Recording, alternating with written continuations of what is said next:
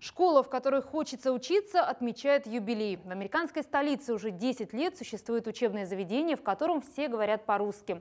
Эта уникальная школа была основана 10 лет назад Эллой Коган. В прошлом советской жизни Элла была географом, потом отказником. А здесь, в Вашингтоне, в эмиграции долгое время работала в некоммерческих благотворительных организациях. Мне было жалко детей. Мне было жалко детей, которые оказывались в каком-то безвоздушном пространстве, они не понимали, кто они, где они, э, что их объединяет, что их отделяет от других детей. И мне захотелось как-то этих детей собрать и объяснить им, кто они такие.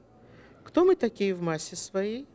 Мы русскоязычные или русскоговорящие евреи. Мы говорим по-русски, но у нас есть какой-то, так сказать, мотив еврейский в душе. И вот это была идея, которая объединила тех, кто при начале школы был.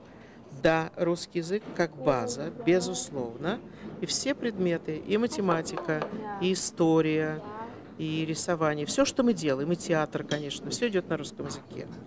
При этом параллельно дети слушают рассказы о традициях, об истории, еврейской истории. Те, кто хочет, те учат иврит, те, кто хочет, те идут готовиться к бармитсве и батмитсве абсолютно по выбору.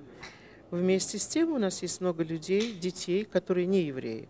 У нас есть украинцы, белорусы, армяне, кто хотите.